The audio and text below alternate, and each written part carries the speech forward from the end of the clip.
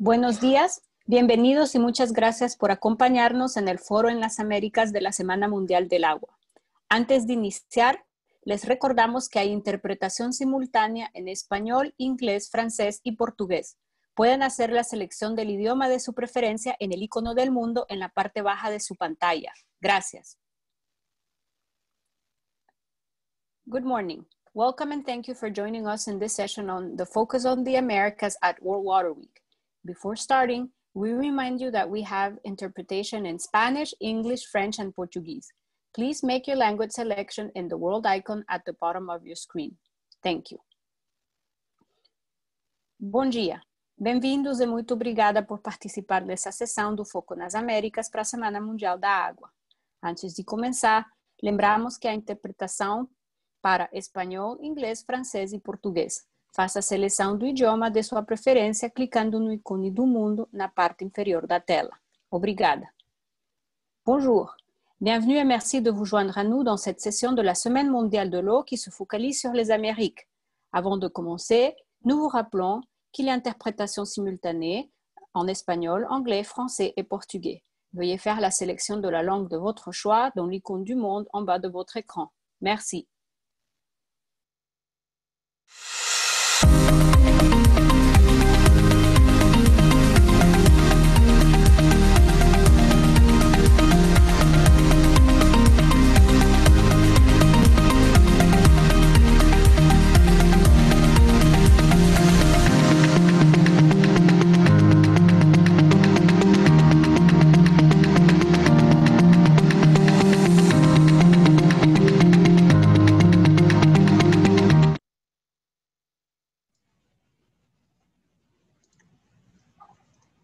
Bienvenidos sean todos al showcase titulado Fondos de Agua, Reservas para Futuras Sequías. Mi nombre es Melissa Boyson y tendré el placer de conducir esta sesión en la que se presentarán las ideas finalistas que fueron seleccionadas a partir de una convocatoria abierta a todos los fondos de agua que son parte de la red de fondos de agua de América Latina.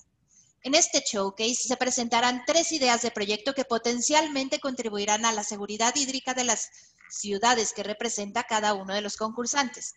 Estos proyectos utilizan soluciones basadas en la naturaleza para contribuir a alguna de las dimensiones de seguridad hídrica, ambiental, doméstica, urbana, económica y o de resiliencia ante desastres naturales. También contribuir a los procesos de recuperación verde. El showcase se realiza gracias al apoyo de AVE InBev Middle Américas, a los socios de la Alianza Latinoamericana de Fondos de Agua, compuesta por el Banco Interamericano de Desarrollo, Fundación FEMSA, el Fondo para el Medio Ambiente Mundial, la Iniciativa Internacional de Protección del Clima ICI y The Nature Conservancy. Los jueces que nos acompañan y que representan a estas instituciones son André Foury, director global de sostenibilidad del agua de AVE InBev, Lorena Guillel Aris, directora de Fundación FEMSA, Raúl Muñoz, especialista senior en agua y saneamiento del BID, y Hugo Contreras, director de seguridad hídrica de América Latina de TNC. Los concursantes que presentan sus ideas de proyecto el día de hoy son Eduardo Vázquez, director del Fondo de Agua de la Ciudad de México, Agua Capital, Mariela Sánchez, directora del Fondo de Agua Lima y Callao de Acuafondo, eh, Rocío Salinas, directora del próximo Fondo de Agua para el Desarrollo de Zacatecas, FONADES. La sesión tiene una duración de 45 minutos, por lo que el control de tiempo será vital. Los concursantes tendrán 5 minutos para presentar sus ideas de proyecto y yo les avisaré cuando queden 2 minutos y 30 segundos antes de terminar. Los jueces tendrán 5 minutos para hacer preguntas. El público, ustedes, podrán utilizar la parte de preguntas y respuestas para expresar su apoyo a los concursantes y podrán dejar sus preguntas, las cuales retomaremos y serán contestadas y publicadas en nuestro sitio web.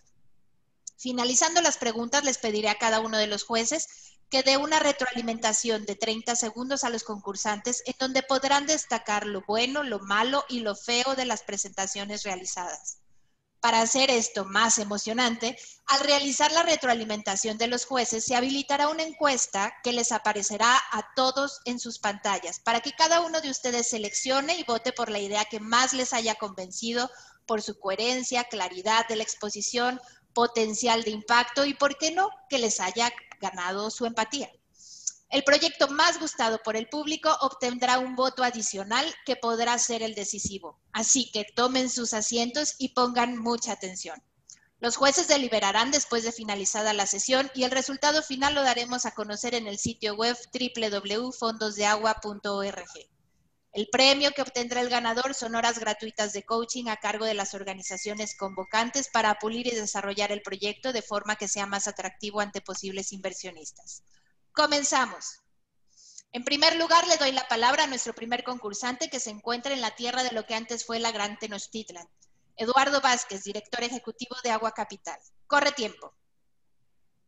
Muchas gracias. Buenos días. Eh, Eduardo Vázquez desde Agua Capital, el Fondo de la Ciudad de México, para compartir con ustedes el proyecto Distrito Hídrico Coapa, que es una visión hídrica sostenible de infraestructuras verdes y grises.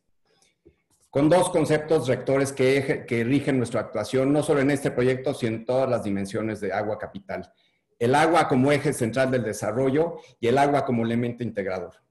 Primeramente, definir qué es un distrito hídrico para nosotros. Es una herramienta de planeación que vincula el desarrollo urbano, social ambiental con una perspectiva sensible al agua, de resiliencia y adaptación a los efectos del cambio climático sobre los recursos hídricos, con una perspectiva clara de gestión local, descentralizada, sostenible y de economía circular.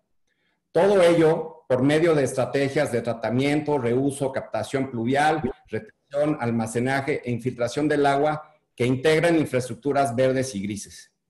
Es importante mencionar que este tipo de proyectos buscan incidir asimismo en en la orientación de políticas públicas y el diseño de nuevos modelos de financiamiento para proyectos de este alcance y por otro lado, tomando un valor esencial en la participación ciudadana para generar una apropiación de estas soluciones como la que le estamos presentando el día de hoy.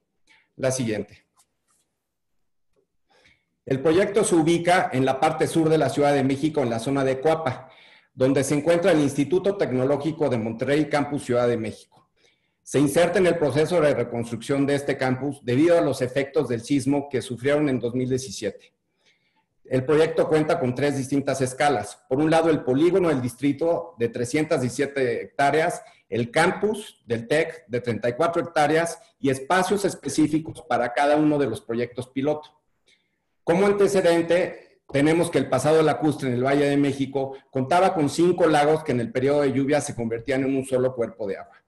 En la parte inferior de la pantalla podrán ver cómo se encontraba la región de los lagos en el año 1500 y a su lado, en el lado derecho, cómo el proceso de organización y sobreexplotación refleja eh, la problemática a la que nos estamos enfrentando, encontrando un punto rojo que es donde se encuentra este proyecto.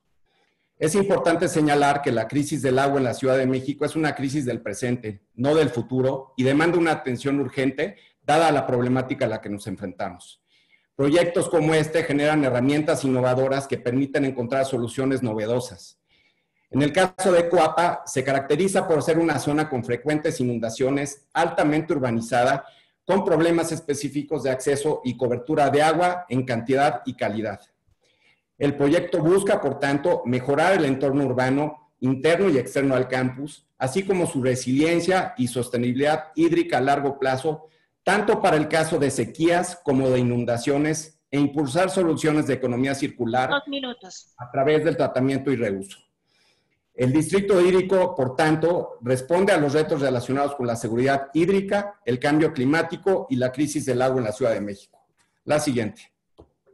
El plan de, implementación del proyecto cuenta con tres fases, dos de las cuales ya han sido ejecutadas. Primero, una visión compartida en la cual se desarrolla una narrativa con un enfoque clarísimo de participación multiactor, multisector y multidisciplinario. Posteriormente, diseñamos un protocolo de participación comunitaria y desarrollamos estudios técnicos complementarios que ofrecieron la base técnica y científica para determinar las mejores intervenciones. Con ello se construyó un catálogo de proyectos piloto, los cuales en la fase 3 estaremos implementando junto con el protocolo de participación comunitaria y un mapeo y diseño de estrategias de financiamiento, entendiendo el alcance de recursos que se requiere para este tipo de proyectos. Las acciones previstas en el proyecto piloto se refieren a elementos de retención, captación y almacenamiento, tratamiento y reuso de agua, infiltración y conducción. De manera importante, para medir el impacto y la evolución del proyecto, se diseñará un tablero de control hídrico que en todo momento estará valorando el avance de las soluciones. Como conclusiones y en términos de los impactos esperados, aproximadamente una población beneficiada de 160 mil personas entre los habitantes del distrito, los alumnos, los profesores y la población, la población flotante del, del 30 lugar. segundos. Eh, tiene un potencial de reutilización de 19 litros por segundo y de, y de 6 litros por segundo de aguas negras. Por otro lado, un máximo eh, potencial de infiltración de 60 litros por segundo y también abate el problema de la sobreexplotación. Es un proyecto altamente replicable, escalable, con un- una dosis de innovación por la participación del sector privado y las nuevas soluciones que ofrecen el desarrollo urbano con infraestructura verde. Muchas gracias. Muy bien. Bueno, damos paso a los cinco minutos de preguntas. Jueces, agradeceré, me envíen si tienen sus preguntas para darles la palabra. Hugo Contreras.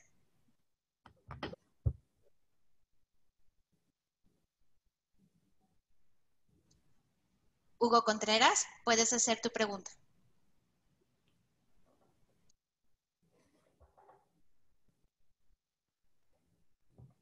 ¿Cuáles son las ideas que están poniendo para el financiamiento sostenible del proyecto?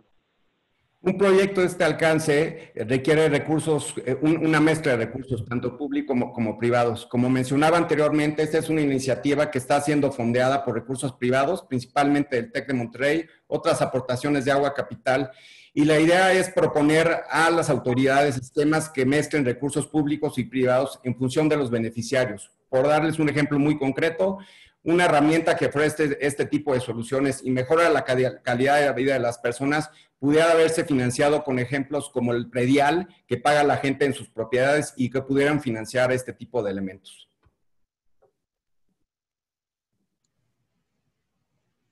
Raúl Muñoz, siguiente pregunta.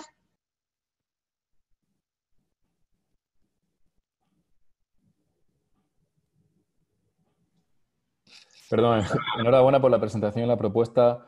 Eh, dos preguntas en una. Primera, en una palabra, ¿cuál piensas, Eduardo, que es la ventaja competitiva de la propuesta? Y segundo, ¿cuáles son los retos de sostenibilidad de los pilotos que se proponen? La primera, en respuesta a la primera pregunta, eh, completamente una dosis de innovación dada la carencia de soluciones alineadas a la infraestructura verde de- dentro del suelo urbano. Eh, en, al menos en la Ciudad de México no existen modelos como esto que tienen una perspectiva muy clara de economía circular. Eh, y perdón, Raúl, la segunda pregunta era, Sí, ¿cuáles piensas que son los principales retos de sostenibilidad de las soluciones que, que se, que se implementarían? Creo que la sostenibilidad tiene distintas, eh, distintos enfoques. Primero, el financiero, que ahorita respondiendo a la pregunta de Hugo, requiere una mezcla de recursos importante con un enfoque muy claro, no solo en el diseño, sino en el mantenimiento y la operación del proyecto. Es clave para que tenga una perspectiva a largo plazo. Y por otro lado, el adecuado diseño de las soluciones basadas en la naturaleza con base en la técnica y la ciencia. Y es por ello que llevamos a cabo estos estudios técnicos, tanto geológico como geofísico, como de balance hídrico, para tomar las mejores decisiones. Lorena Guillet tiene la palabra. Gracias. Felicidades, Eduardo, por esta iniciativa. Y mi pregunta es, con esta perspectiva de largo plazo a la que hacías mención ahorita y con el elemento de participación comunitaria que has integrado en el proyecto, ¿cómo eh, ves que se podría incidir en cambio de comportamiento para que los estudiantes que serán futuros tomadores de decisiones puedan desde ahora irse formando en evitar las cosas que ahorita estamos tratando de solucionar, como son la sobreexplotación de manera particular en tu proyecto? Qué bueno que lo preguntas, Lorena, y gracias por el comentario. La visión compartida a la que aludí anteriormente y el protocolo de participación social para no- nosotros es esencial en la medida que entendemos que si la comunidad se apropia del proyecto, va a permear a largo plazo, por un lado. Por otro lado, siempre estamos buscando moldear las, eh, las decisiones y el acercamiento de la gente al uso del agua, cambiando conductas y hábitos, y que por otro lado también esto lleve, por cierto, a incidir en la nueva formulación de políticas públicas y regulación de estos futuras, futuros tomadores de decisiones, de alguna manera u otra evangelizándolos en la importancia del manejo sensible al agua y cómo el agua, siendo un factor transversal y multidisciplinario, afecta y beneficia a todos los sectores y a todos los planos de actuación. André Foury. Thank you, Eduardo. A very positive uh, project. I can see the innovation in the project. Can you tell me a little bit more about any innovation or ideas you have in the measurement of the impact? Sí, como comentaba anteriormente, vamos a establecer un tablero de control hídrico que mida las distintas dimensiones del proyecto. Esto tiene que ver con los análisis de geotecnia, hidrológico y balance hídrico, el impacto que tiene la zona en hundimientos. Por ponerles un ejemplo muy concreto, la sobreexplotación del acuífero ha provocado que la profundidad del agua subterránea en la zona haya disminuido, haya bajado a 90 metros en el área de estudio.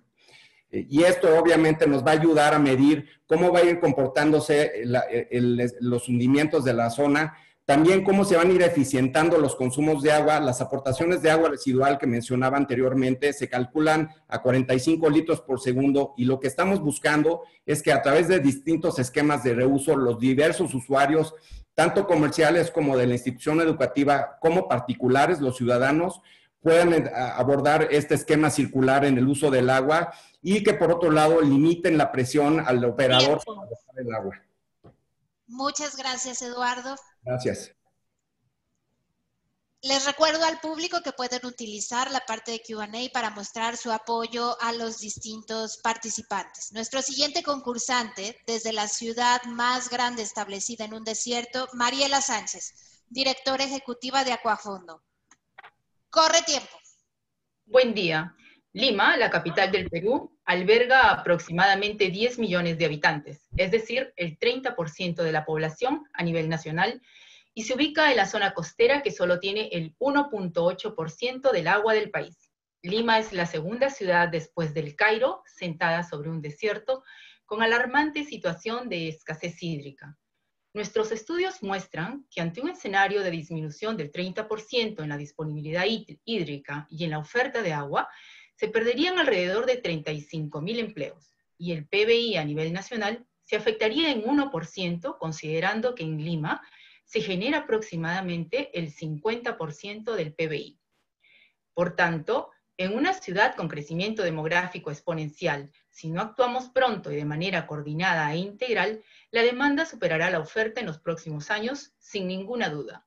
Desde Acuafondo, el Fondo de Agua para Lima, tenemos el foco de nuestro trabajo puesto sobre la cantidad y calidad de agua que nos permita contribuir a la seguridad hídrica de nuestras comunidades a través de soluciones basadas en la naturaleza. Siguiente, por favor. Así, promovemos la recuperación de amunas.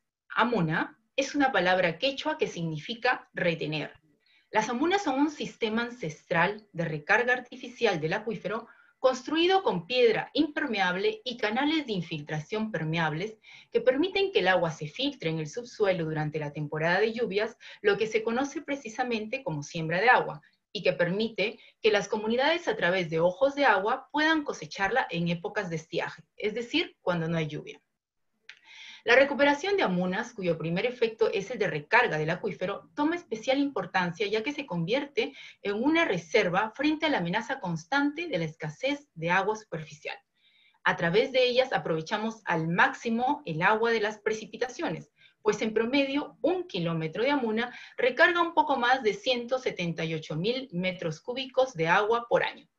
Tenemos casi 10 años ejecutando proyectos de infraestructura natural, promoviendo alianzas entre el sector público y privado, y con el aporte de nuestros socios hemos recuperado ya más de 9 kilómetros de amunas que aportan actualmente 1.8 millones de metros cúbicos de agua al año. Y este año, a pesar de las circunstancias en las que nos encontramos, estamos ejecutando la recuperación de 4 kilómetros más con el aporte privado de nuestro socio y aliado estratégico Bacus, con lo cual llegaremos a un aporte de 2.5 millones de metros cúbicos. De acuerdo al Banco Mundial, las poblaciones cuenca arriba se benefician con el 80% del agua y 20% beneficia a la población urbana. Sin embargo, contempla que estos porcentajes pueden revertirse en los próximos 10 o 15 años, considerando que la cantidad de pobladores cuenca arriba es menor y por tanto es posible que satisfagan sus necesidades de agua con mayor prontitud. Siguiente, por favor. Dos minutos. La sostenibilidad del recurso hídrico tiene que ver con lograr beneficios económicos, sociales y ambientales. Cuando recuperamos amonas, revaloramos cultura, saberes ancestrales y contribuimos con ganancia hídrica que sin duda aporta al desarrollo económico de la ciudad mientras preservamos los ecosistemas. Tenemos la mirada puesta en generar más agua para Lima. Desde las comunidades en la parte alta de la cuenca hasta la zona urbana, procurando a cada paso mejorar la calidad de vida de las comunidades donde intervenimos, porque son estas comunidades organizadas las que nos permiten intervenir en sus espacios, nos ofrecen su trabajo y contribuyen con el cuidado y sostenibilidad de las amunas recuperadas. Nos falta mucho camino por recorrer. Solo como aporte al RIMAC tenemos aproximadamente 62 kilómetros de amunas por recuperar, que nos permitirían recargar más de 15 millones de metros cúbicos al año, beneficiando potencialmente a 318 mil habitantes a lo largo de la cuenca. La crisis de agua es una amenaza silenciosa para todos. Por eso, necesitamos seguir sumando voluntades y recursos. Necesitamos que sumemos todos para alcanzar el bienestar de la población en temas de agua y contribuir así a alcanzar el ODS 6, pero además, de manera transversal, contribuir con los 16 ODS restantes, entendiendo que no podremos reducir la pobreza, ni la brecha de género, ni conseguir más ciudades sostenibles, ni generar desarrollo económico. 30 segundos. Sumemos a la recuperación de Amunas. En Perú, país lleno de tradiciones, nuestros ancestros estarán también agradecidos. Muchas gracias. Muchas gracias, Mariela. Eh, abrimos a la parte de preguntas. Jueces, por favor.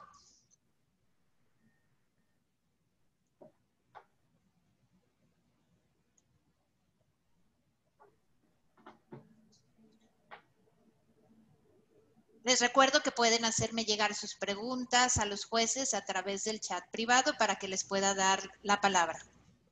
Hugo Contreras. Eh, Mariela, gracias por la presentación. Eh, ¿Algún mecanismo financiero innovador que permita acelerar la expansión de los trabajos para que puedan lograr esas 62 eh, kilómetros?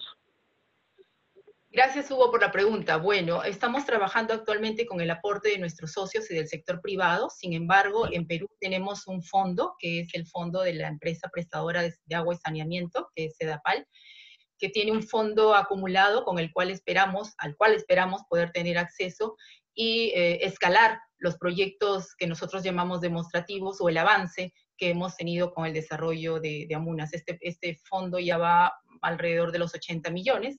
Lo que necesitamos aproximadamente son 18 millones de dólares para recuperar las amunas que nos faltan. Así que esperamos poder a este, acceder a este fondo. Raúl Muñoz. Hola Mariela, felicitaciones por la propuesta, súper interesante la recuperación eh, de, esas soluciones eh, tan antiguas ¿no? y, muy buena la presentación. Para mantener la objetividad, eh, las mismas preguntas que le hice a Eduardo viendo tu presentación, en una palabra, ¿cuál es la ventaja competitiva de, tu propuesta y cuáles piensas que son los mayores desafíos de la sostenibilidad de, las AMUNAS una vez construidas, financiadas y construidas, implementadas? ¿no? lo importante de este tipo de proyecto es, como lo dije durante la presentación, que no solamente contribuimos con recarga hídrica o contribuiríamos con recarga hídrica para Lima, sino que además trabajamos todo un tema social alrededor de las comunidades y el fortalecimiento de capacidades. Eh, tejemos relaciones con ellos muy fuertes.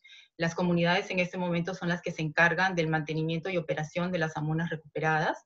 Eh, además, contribuimos, por supuesto, a todo el tejido económico, pues no podemos tener más desarrollo, no podremos tener más desarrollo si no generamos eh, este tipo de proyectos que nos permitan contar con, con, una mayor cantidad de agua, no solamente en época de, de sequía o de no lluvia, como, es en el caso de Lima, sino que además eh, contemplando una posible crisis debido a la escasez de la que ya sufrimos.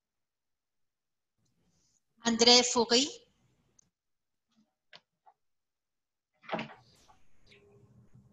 Mariella, such a inspirational project. Can you say a little bit more about how the community participates in the project? I know you said they benefit from it and they participate in the restoring, but can you tell us a little bit more about what do they actually do? Do they help with the physical restoration?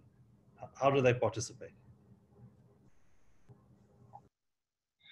Gracias, André, por la, por la pregunta. El, trabajo con la comunidad es un trabajo muy bonito porque comienza incluso con el proceso de identificación de las amunas, ¿no? Cuando nos, primero es una decisión de, en comunidad, en asamblea comunal, qué amunas son las que se van a recuperar primero. En este caso, por supuesto, eh, recorremos las zonas con los comuneros y las comuneras y de alguna manera bautizamos, por decirlo eh, así, las amunas con los nombres con los que ellos las conocen. Ese es el primer trabajo que realizamos con la comunidad. Luego son los comuneros y comuneras los que se inscriben para trabajar, pues, o sea, aportando la mano de obra, pero es una mano de obra por la cual nosotros pagamos. Hacemos un pago de acuerdo a todas las condiciones del mercado y en las mejores condiciones para ellos. Eh, cuidando su salud y, por supuesto, em, el cuidado de su familia también. Después de eso, ellos se encargan del monitoreo y la operación de las amunas y también nos acompañan en los procesos de monitoreo hidrológico, porque Acuafondo realiza un monitoreo hidrológico de las amunas que recupera y todo esto genera, por supuesto, un movimiento eh, económico para las comunidades con el pago de los jornales para ellos, pero además tiene un beneficio extra que es que mejora sus actividades agrícolas y agropecuarias. Son, las comunidades Cuenca Arriba viven de, la agricultura y de la ganadería. Y cuando nosotros recuperamos las amunas, no solo se infiltra agua, sino que se humedece todos los terrenos alrededor, favoreciendo de esta manera la agricultura y además favoreciendo también la alimentación de su ganado, que tiene que recorrer menos menos espacio, menos terreno para la alimentación y, y tienen una mejor calidad para él. Tenemos una pregunta de Lorena Guillé, pero cinco segundos, cuatro, no, la pasaremos, lo siento, pasaremos al siguiente eh, participante eh, y, Lorena empiezas la siguiente ronda de preguntas. Eh, nuestra siguiente participante, desde la tierra de donde abunda el zacate y los metales preciosos como la plata, Rocío Salinas, directora ejecutiva de FONADES. Corre tiempo. Muchas gracias. Mi nombre es Rocío Salinas Godoy. Soy directora del Fondo de Agua para el Desarrollo de Zacatecas y les voy a presentar mi proyecto que es Aguas Firmes. Zacatecas se encuentra en la parte centro-norte del país, a 2.200 metros sobre el nivel del mar. Esta condición nos hace vulnerable a las sequías, somos altos exportadores de agua y tenemos una tasa de evaporación muy alta. El 25.3% del, abastecimiento de agua en nuestro estado proviene de fuentes superficiales y el 74.7% restante viene de aguas subterráneas. El agua subterránea de Zacatecas se asocia a 34 acuíferos, de los cuales uno de ellos, el acuífero de Calera, es de los más sobreexplotados, con un déficit de 80.5 millones de metros cúbicos. El 90% del consumo de esta agua es para la agricultura. Aguas Firmes es un proyecto impulsado por Grupo Modelo, por TNC, Bercor, FIRA, Cotas, Conagua, Maxiterra y la Universidad de Chapingo. La siguiente, por favor.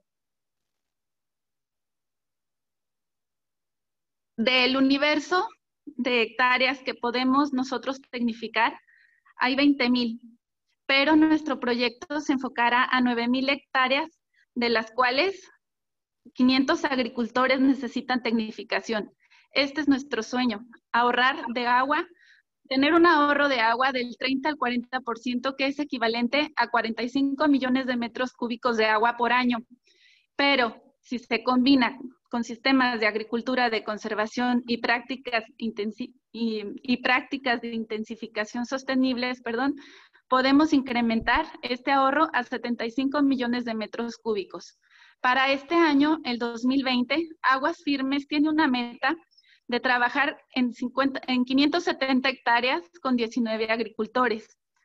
Nosotros, al implementar acciones de sistemas de cultivo inteligente, de riego por goteo y por aspersión y buenas prácticas agrícolas, podríamos atacar el 100% del déficit del acuífero garantizando así la seguridad hídrica a largo plazo. Para las comunidades, los agricultores, mejorar la economía local y nuestro negocio también. Adelante, por favor. Tenemos cuatro pilares fundamentales con los cuales ya estamos trabajando. Aguas Firmes es un proyecto que ya inició. El primero de nuestros pilares son soluciones basadas en la naturaleza. Se determinaron sitios identificando puntos críticos con un sistema geográfico. El objetivo es aumentar la calidad y cantidad de agua infiltrada. ¿Qué tipo de acciones estamos realizando? Obras de conservación de cárcavas, barras de piedra, presas de gaviones.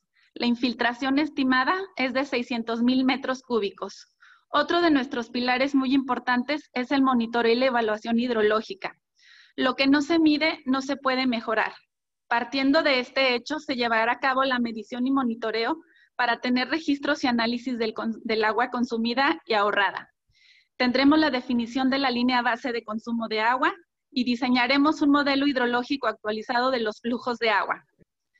Otro de nuestros pilares que es muy importante es la agricultura sostenible.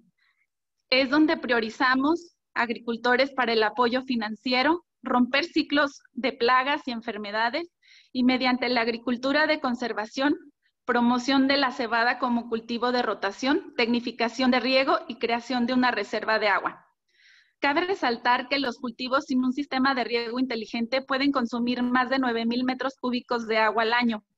Con un cultivo inteligente y con riego por goteo, podemos asumir que se utilizaría al menos el 50% alrededor de 4.000 metros cúbicos de agua menos por hectárea al año. La gobernanza. Para lograr una gestión integral del agua, se deben generar estrategias que incluyan el manejo de demanda de todos los sectores y usuarios. ¿Y cuál es, cuál es lo innovador? ¿Cuál es lo innovador?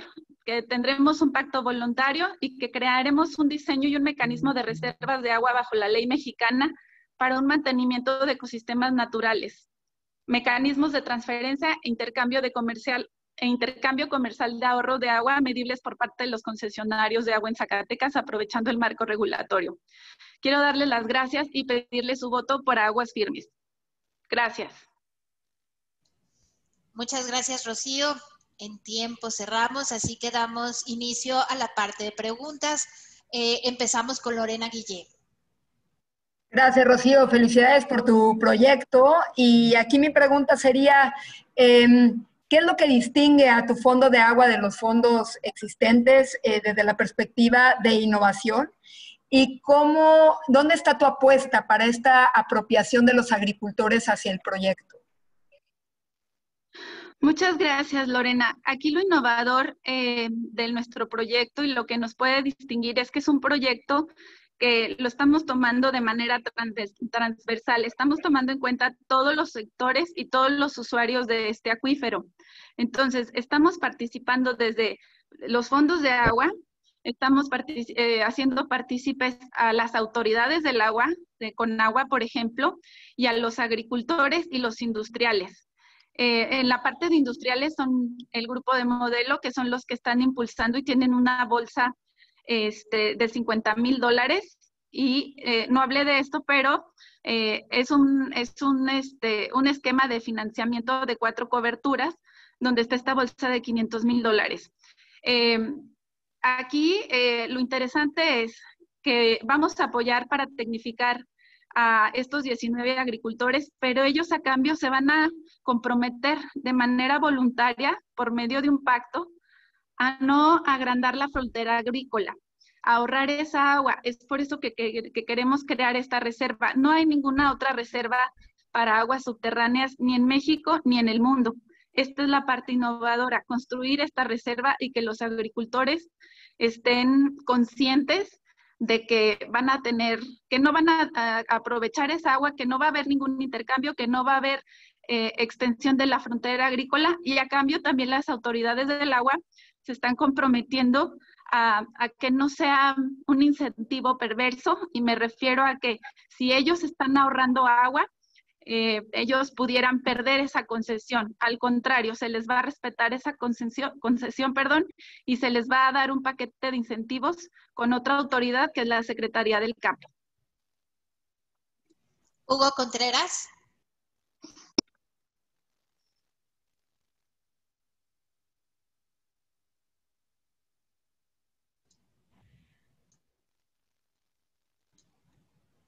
Hugo Contreras. Nada más, eh, ya la contestaste, Rocío, gracias. Mecanismos de innovación financiera, eh, pero ya los abordaste en la, tu respuesta. Pasemos a la que sigue. Raúl Muñoz. Gracias. Gracias, Hugo. Ahí me gustaría eh, hacer eh, hincapié en que tenemos una cobertura de cuatro, de cuatro fondos de, de, garantía, aparte de las garantías que ya van a dar los, cada agricultor. Ya tenemos el análisis hecho, estos agricultores ya están calificados ya están aprobados para, para ser sujetos a este esquema de financiamiento y en caso de caer en algún impago, entraría Grupo Modelo, donde tiene un fondo, donde tenemos un fondo de 50 mil dólares y así sucesivamente seguirían las, las siguientes, los siguientes fondos de cobertura. Gracias, Rocío. Raúl Muñoz. Felicidades, Rocío, por la propuesta, súper interesante, muy buena la presentación. Eh, para mantener la, objetividad, eh, en parte ya contestaste, pero eh, en una palabra, ¿cuál piensas que es el, digamos, la ventaja competitiva de tu propuesta frente a las otras? Y cuáles piensas que son los mayores desafíos de sostenibilidad de las soluciones que, se estarían financiando. Definitivamente el desafío más grande es la gobernanza, que los agricultores sí aceptaran el financiamiento, pero a fin de cuentas no aceptaran eh, ahorrar esta agua, intercambiarla o expandir su frontera agrícola. Eso sería como, como nuestro, punto, nuestro punto crítico, pero se ha estado trabajando con cada uno de ellos y, han accedido bastante bien, entonces incluso están entusiasmados y hemos cuidado también mucho la parte de comunicación. ¿Qué les vamos a decir? Eh, definitivamente no, no, no estamos haciendo la promoción sobre que hay este fondo para que no vayan a caer ellos en ningún impago. Y a cambio se les, va a dar un, se les van a dar algunos beneficios como el seguro para su cosecha, apoyo en la comercialización de su producto, eh, cosecha como garantía, una tasa preferencial del 13% aproximadamente y sin comisiones por apertura. Entonces, este, siento que esa es la parte, eh, esa es la parte más riesgosa. Otra de las partes muy buenas es que vamos a, eh, vamos a empezar a nosotros a crear este mecanismo de reservas de agua que no hay en México y que no hay en todo el mundo. Muchas gracias.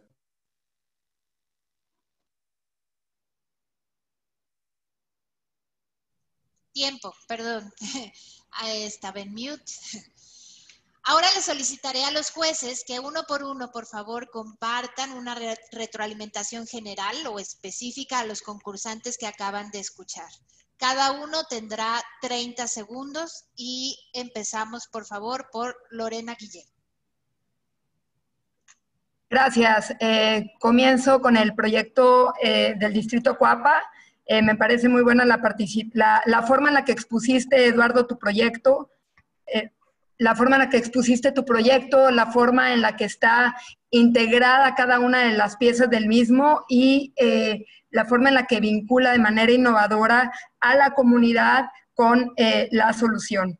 Eh, me sigo con el proyecto Amunas, eh, de hecho, la pregunta que te quería hacer era justamente qué te quitaba el sueño. Me encanta el, espíritu y el amor que reflejas por el proyecto y creo que detrás de un gran proyecto hay importantes liderazgos que son los que van llevando la visión hacia adelante. Así que continúa hacia allá y creo que tiene un gran futuro con este balance de recuperar, la, volver al, eh, ver en la originalidad de un proyecto el, regresar al origen con algo tan tradicional como es esta forma ancestral de, eh, infiltrar el agua y, se me hace eh, que tiene un potencial enorme tu proyecto. Y contigo, Rocío, decirte que eh, me fascina tu proyecto, creo que hay una oportunidad inmensa de de llevarlo hacia adelante y que el chiste es comenzar. Creo que tienes las bases y los fundamentos financieros para despegar este proyecto y llevarlo a más.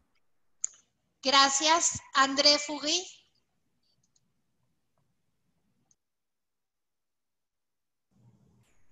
Thank you, uh, Eduardo. Uh, really good uh, presentation. I like it's a it's a really balanced approach with uh, dealing with quality and quantity.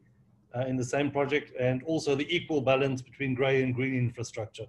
Because I think quite often um, water funds tend to focus more on uh, green infrastructure. So I think this balance is really good.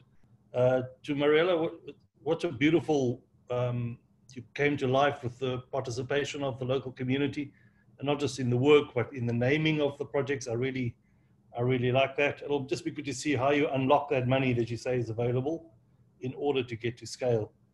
And then for Rocio, uh, really good, although it's a, lo a local project, it seems like you could really get impact at scale. And I just want to encourage you in the answer question and answer session, you brought to life how this piggy bank would work. And I think that is the heart of your project. Too often we have projects that work with farmers, save on irrigation, but the water doesn't return actually back to the water, water system. Um, so I would play that up as a real strength of your project. Thank you very much.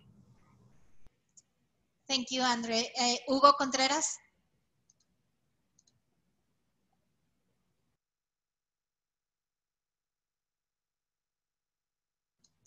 Estás en silencio. Rocío, me gustó mucho la forma detallada de contestar preguntas. Me parece que, has aprendido bien y has estudiado bien tus, tu, proyecto y entiendes dónde están las claves. Eh, te felicito por eso. Mariela, eh, la forma de hacer el pitch, el look and feel, eh, me pareció muy bueno, entendiendo que es una presentación corta. Eh, y Eduardo, ah, lo que me gustó fue la asertividad en el mensaje, es un mensaje complejo, pero lo transmitiste de una manera muy asertiva que nos facilitó el entendimiento. Eh, y me uno a los comentarios de los demás. Gracias. Raúl Muñoz. Bueno, desde aquí poco que añadir ya sobre, eh, sobre lo que dijeron mis colegas.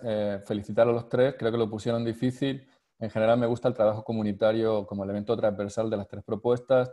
La de México me gusta mucho, que es una zona muy concreta de la ciudad, eh, con acciones muy específicas y el engagement con, con, la comunidad universitaria. Creo que es un proyecto muy interesante.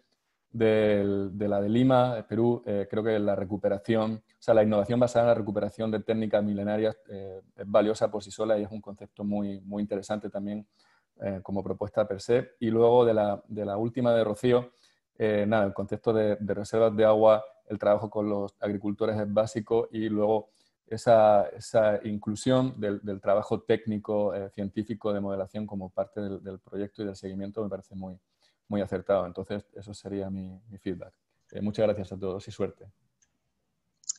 Pues muchas gracias, jueces. Ha llegado el momento en el que el público tome el timón de mando y les pedimos que elijan aquella idea de proyecto que más les haya convencido. Recuerden que su voto puede ser el decisivo. A continuación les aparecerá esta encuesta. Por favor, les pedimos que voten. Tómense unos segundos.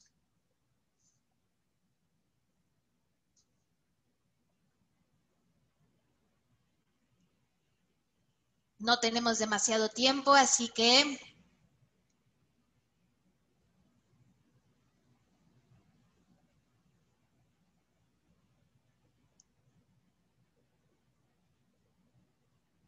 tiempo. Espero que todos hayan tenido la oportunidad de votar.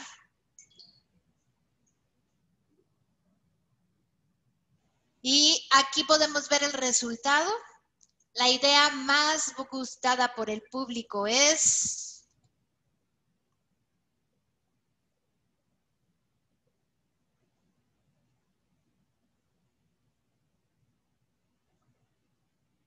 Mariela Sánchez con 47%, Fondo de Agua Lima y Callao, Acuafondo. Muchísimas felicidades.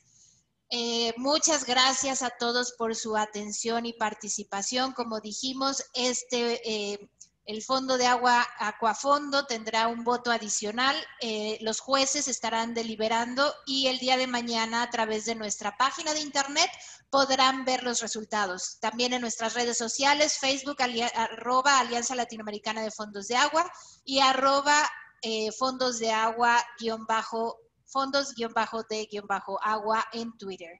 Muchísimas gracias y que tengan buen resto del día.